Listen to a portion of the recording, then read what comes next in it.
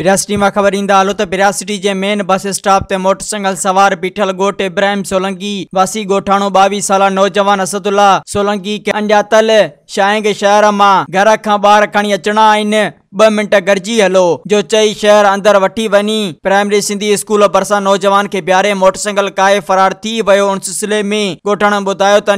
Shining ٻار کڻڻا آهن جو جهانسو ڏيئي اکين ۾ سرمو پارائي ٻه هزار ايڪويهه ماڊل موٽر سائيڪل ڪائي فرار ٿي ويو آهي. جنهن بعد نوجوان جي اتلا تي سڄي شهر ۽ ڀرپاسي ۾ شائنگ جي ڳولها ڪئي. جنهن جو ڪٿي به ڏس پتو نه پيو. هنن وڌيڪ ٻڌايو ته نوجوان اسدلا سولنڪي भुज ट्रालियुनि ते मज़दूरी करे पोरियो कंदो आहे जॾहिं त ॿिए पासे बिरासिटी बाईपास वटां अंडियातल हथियार बंद बिरिया रोड सेपको लाइन मेन गाए खान गोपांग खां मोटरसाइकिल रोक रक़म ऐं ॿियो सामान फुर करे फरार थी विया उन सिलसिले में सेपको लाइन मेन ॿुधायो त थाणे ते इतला बावजूद बिरासिटी पुलिस तहरुक नाहे वरितो Soomro 3D wallpaper and PVC panel shop दे रहा है सबसे अच्छी सर्विस बेहतरीन क्वालिटी के आला मयार वॉलपेपर और सीलिंग खूबसूरत डिज़ाइन और कलर्स में दस्तियाब है। हर किस्म के पीवीसी वॉलपेपर्स और सीलिंग लगवाने के लिए हमसे राब्ता करें।